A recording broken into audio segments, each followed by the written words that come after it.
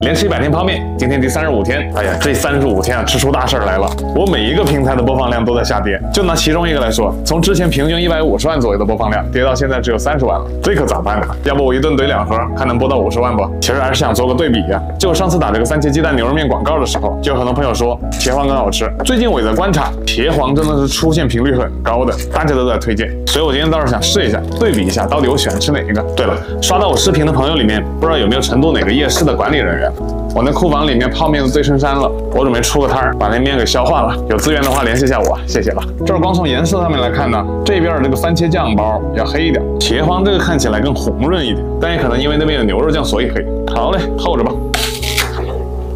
香味已经出来了，元宝都出过来了。来，给你块苹果。好了，可以了。这怎么泡了五分钟，面还有点硬硬。统一这边汤色要鲜亮一点，康帅博的面条确实要比统一粗一些。先喝口汤。哎，不得不说，茄皇汤真的好喝，更有番茄味儿。尝下面呢，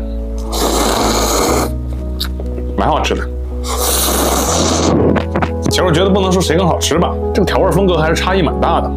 茄皇这边确实鲜味更重，闻着像海鲜汤一样，而且番茄味也很足。面条更顺滑弹口一些，康帅博这边偏酱味，然后这面条呢是脆口。嗯。说起来那天看了个讨论呢，就是说北方也强调面的嚼劲，广东的竹升面那些也强调嚼劲，但两边嚼劲是不一样的。可能北方面主要是韧，广东的竹升面这种是脆，所以这茄皇就更像北方的嚼劲儿，唐师傅这边就更像南方的嚼劲儿。加油了，煎蛋，啊一块午餐肉。好，那么九月八号，七月二十四过生日的，朋友们，祝你们生日快乐。我突然觉得我今天这个对比一点都不严谨，茄皇这边也有番茄牛肉面的，我应该是用两个番茄牛肉面来对比啊。那今天这个不严谨的对比呢，我更喜欢茄皇这款，因为我特别喜欢番茄味儿。至于这边呢，其实也蛮不错的，就是番茄味儿不够浓。我要真出摊了，放到摊上去，大家来对比一下，也就是说一次买我两份。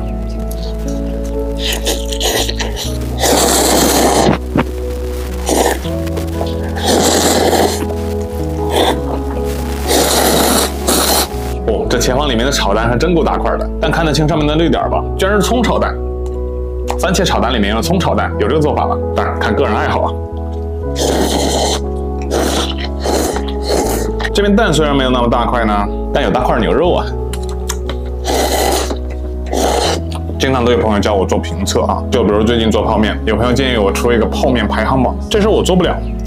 看我那么久还看不出来吗？我啥都爱吃，主打就一个瞎吃。啊，别说两桶面还挺撑人的，现在饭量不行了。好了，那就明天见。嘿，我们天天见。